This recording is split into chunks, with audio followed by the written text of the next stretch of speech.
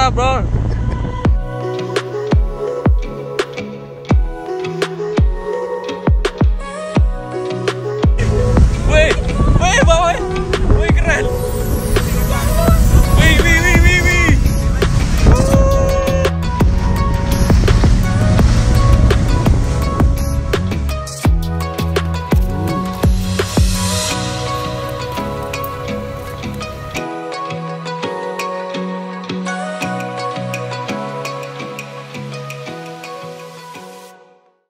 Oke, kali ini kita eh, mau ke Padar eh, sama teman-teman. Dia kawan kita. Puncaknya ke arah sana. Jadi ini udah bagus banget sih sebenarnya. Nah. Kita tunggu em, mungkin sampai puncak. Semoga bisa bisa kasih lihat ya. Ini baru setengah jalan kayak gini. Parah.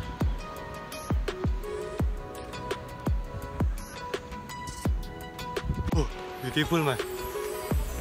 See, let's see, let's see. Oh, bagus banget. Ada obat.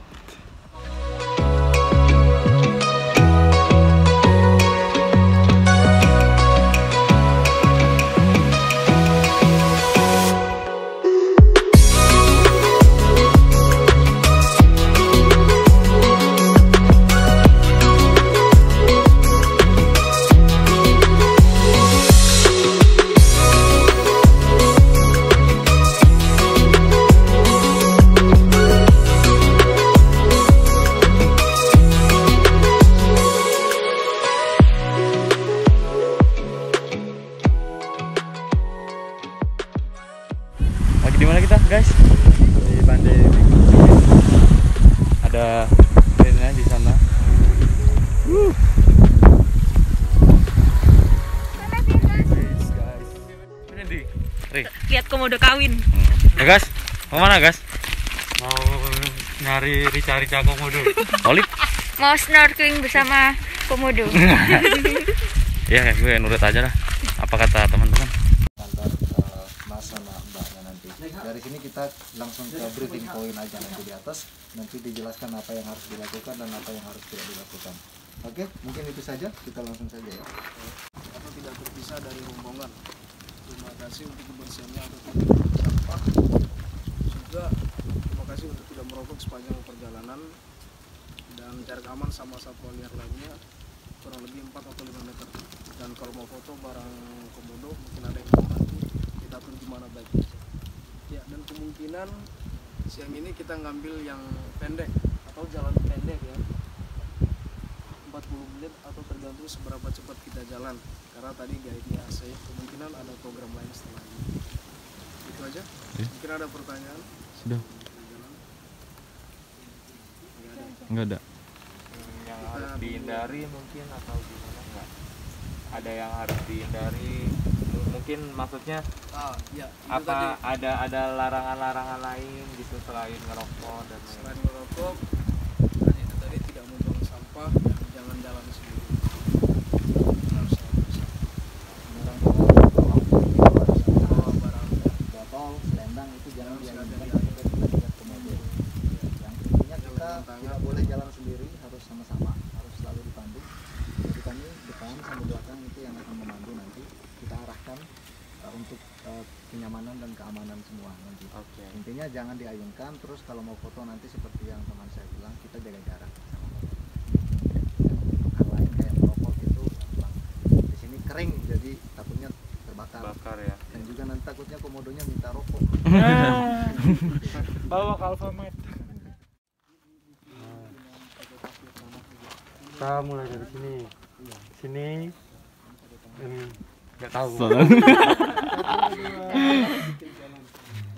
Kak kalau musim kawin Kak.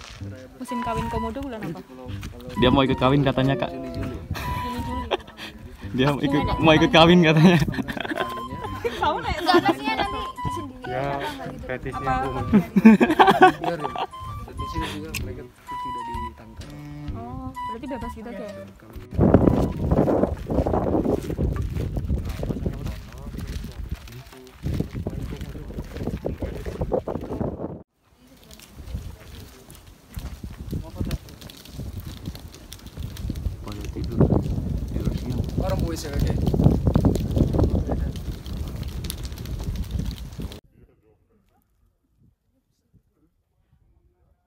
Size-nya Betina muda. seperti jantan tadi ekornya panjang badannya besar kepalanya besar yang di sini aduh duh, duh, duh.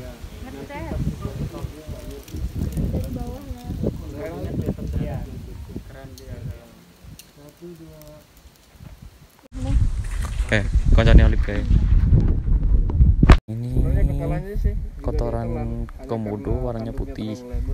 Ya ini kotoran kerbau. dan sarang itu gundulkan tanah di depannya kita yang ada beberapa lubang di permukaannya.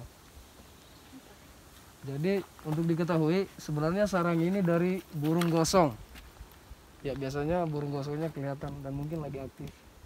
Masih itu? Burung gosong sejenis burung maleo dan size nya itu kurang lebih seperti ayam. Oh. ayam besar. Dan si betinanya ambil alih pakai sarang ini hanya untuk penyimpanan telur. Ya dan mereka juga ngeletakkan telurnya sama burung itu di da- di bulan yang berbeda gitu. Nah seperti yang saya jelaskan tadi untuk populasi komodo di pulau ini ada seribu lebih. Dan dari seribu lebih itu untuk perbandingan jantan dan betinanya itu lebih banyak jantan dibanding betina. Perbandingannya itu tiga satu gitu. Dan untuk musim kawin komodo itu di dua bul eh, dua atau tiga bulan yang lalu tepatnya tuh di bulan Juni Juli. Ya di mana dari bulan Juni Juli itu beberapa jantan akan berantam memperebutkan betina gitu. Yang menang kawin dan yang kalah akan cari betina yang lain. Cantik betinanya nggak ada lagi. Se, se- kalau kalau begitu bertelur gitu ber- Dia mau masuk. Oh, oh pindah paru pasir. pindah jeruk. Dia pose. Ya itu.